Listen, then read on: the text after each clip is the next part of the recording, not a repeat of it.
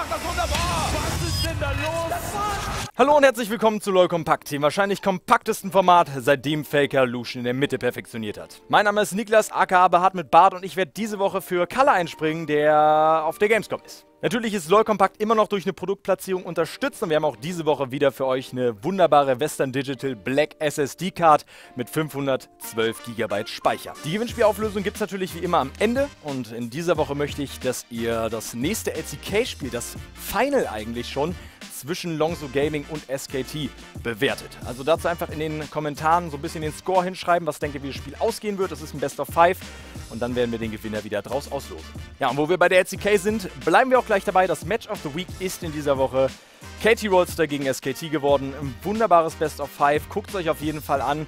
Ich komme nachher noch mal ein bisschen dazu, wie es ausgegangen ist. Ab jetzt wird dann auch wieder gespoilert, deswegen fangen wir direkt an mit der ULCS. Also, let's go! In der ULCS sind wir jetzt schon in den Playoffs angekommen. Und da hatten wir direkt am Anfang eine sehr interessante Begegnung. Unicorns of Love gegen Misfits. Und dabei muss man sagen, Misfits hat nicht super mega gut gespielt, aber Unicorns of Love die haben in einer sehr, sehr schlechten Verfassung sich gezeigt an dem Tag. Deshalb kam es im Endeffekt auch zu einem 3 zu 0 für Misfits, wo die Spiele doch alle recht eindeutig waren. Im ersten Spiel versuchte Unicorns of Love sich mit einem Trundle-Support durchzusetzen, natürlich mit Sensor. Da muss man aber sagen, musste man sich einfach der gottgleichen Performance von Igna auf Blitzcrank geschlagen geben. Dieser schaffte es, Hans Summer richtig gut ins Game zu bringen und konnte ihm da in der ähm, Early Game Laning Phase schon den ein oder anderen Kill verschaffen und Hans Sommer, richtig gut gespielt, konnte diesen Lead ausbauen und wurde am Ende des Spiels tatsächlich mit einem Pentakill belohnt. Zweites Game, ähnliches Prinzip, bloß diesmal war es Power of Evil, der tatsächlich mit einem gefeedeten Carry nach vorne kommen konnte und das Spiel holen konnte. Dieser hat sich tatsächlich für Lucian in der Midlane entschieden und konnte durch einen sehr frühen Gank von Maxlor von Poppy gut ins Game gebracht werden, muss man sagen, und hat da Exile den ersten von einigen Toten beschert. Ja, außerdem gab es in diesem Spiel sehr, sehr viele Ignite-Kills.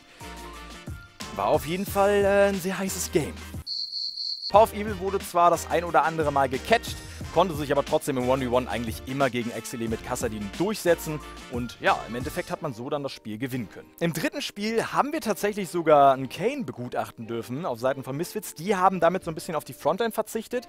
Es war kein hundertprozentiger Tank da, aber man hatte auf jeden Fall genügend Damage. Gerade mit dieser Jarvan-Oriana-Kombo konnte man den Teamfights richtig, richtig gut bestehen und sich auch so dieses Spiel holen. Auch Igna ist da wieder positiv hervorzuheben. Der hat sich in dem Game für Thrash entschieden und mit den Hooks war er auch wieder on point, konnte da die ein oder andere Eröffnung im Teamfight finden. Damit also ein sehr eindeutiges und sehr verdientes 3 zu 0 vor allen Dingen für Misfits. Herzlichen Glückwunsch, Höppele Peps. Und die zweite Playoffs-Begegnung, die wir tatsächlich in dieser Woche hatten, war G2 gegen Splice. Und da muss man sagen, generell konnte sich G2 durchsetzen. Lag nicht zwingend daran, dass sie weniger Fehler gemacht haben als Splice, aber daran, dass sie mehr ausbügeln konnten. Nach dem ersten Spiel sah es tatsächlich so aus, als wäre alles offen. Das zweite und das dritte Game sahen so ein bisschen nach Eigensabotage von G2 aus und die musste man abgeben. Und ja, in den letzten beiden Spielen hat man eigentlich gemerkt, dass die Teams schon sehr müde und erschöpft waren. Ja, und bei den Spielen, vor allem beim letzten, möchten wir Mithy hervorheben. Der ist auf jeden Fall der MVP des Games gewesen, konnte hier durch wunderbares Zoning Oriana die ganze Zeit aus dem Fight raushalten und hat sie so lange CC'd, bis sie ihre Shockwave nicht mehr gewinnbringend anbringen konnte. Fnatic und H2K, die beide warten jetzt also im Halbfinale auf die Gewinner und die werden nochmal ziemlich harte Brocken werden, wenn sie in Topform sind. Die Halbfinalgames in der ULCS werden also super spannend. Ja, und super spannend war es tatsächlich auch in der EU Challenger Series beziehungsweise in der Promotion und Relegation zu EU-LCS. Denn da haben viele Leute eigentlich damit gerechnet, dass sich die LCS-Teams oder die ehemaligen LCS-Teams vielleicht gut behaupten können. Sogar Maimo musste sich Schalke in einem 3 zu 2 geschlagen geben und auch Nip hat es nur geschafft, ein Spiel gegen Giants zu holen, obwohl sie ja kurz zuvor noch Fnatic besiegen konnten, die das beste Team in der EU-LCS sind momentan. Aber man muss sagen, durch das Double Elimination System ist für jedes Team noch die Chance da, aufzusteigen, wobei jetzt schon garantiert ist, dass eins der ehemaligen LCS-Teams absteigen wird und eins der ehemaligen Challenger Series-Teams aufsteigen wird. Welches das sein wird, werdet ihr in der nächsten Woche natürlich live von uns gecastet sehen. Hier auf Summoners Inn Donnerstag sind die ersten wichtigen Games. Kommen wir schon als nächstes direkt zu den ALCS, die sind nach einer kurzen Pause jetzt auch in den Playoffs. Und da hatten wir direkt am Anfang ein sehr interessantes Game. Dignitas gegen Cloud9 war die erste Begegnung und dabei konnte sich Dignitas mit einem 3 zu 1 wirklich sehr souverän durchsetzen. Man muss sagen, TSM könnte ein schwerer Gegner werden. Wenn Dignitas aber in Topform ist, sollten sie auch diesen Gegner besiegen können. CAG muss tatsächlich als nächstes gegen Immortals ran und das könnte nochmal schwer werden, da die Begegnung gegen Envy heute bzw. gestern alles andere als eindeutig war. Envy hätte tatsächlich in vier der fünf Games die Möglichkeit gehabt zu gewinnen. Im ersten Spiel musste man allerdings eine Niederlage kassieren, weil man sich einen Baron hat stehlen lassen. Hm, war sehr, sehr knapp insgesamt. Die Botlane um Apollo und Hakuo von ähm, Envy sind allerdings in jedem Game positiv hervorzuheben. Sie lagen eigentlich immer vorne, selbst wenn es Matchup-bedingt nicht zwingend danach aussah und haben eine wunderbare Performance und Synergy an den Tag gelegt. Oder an die Nacht. Aber es war ein Nachtziel. Die NALCS wird natürlich trotz der Gamescom auch wieder von uns bzw. mir übertragen und gecastet. Kommen wir schon als nächstes zur LCK und endlich, endlich dürfen wir die wieder übertragen. Und da sehen wir SKT wieder in Hochform.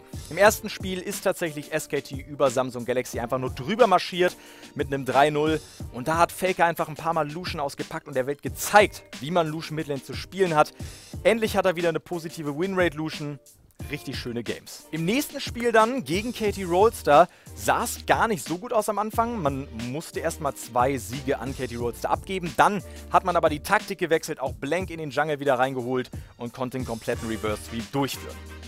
Und das nochmal eine ganz witzige Anekdote. Eigentlich vor einem Jahr hat Katie Rollstar genau das, genau bei den Summer Finals, mit SKT gemacht. Also da hat man sich jetzt so ein bisschen revanchieren können. Ja, in der ESL ist in letzter Zeit ja nicht so viel passiert, aber wir haben auf der Gamescom wieder das Finale für euch. Live übertragen, live gecastet zwischen Maimo und Attempting to Reconnect. Also schaltet da auf jeden Fall ein am 26.08.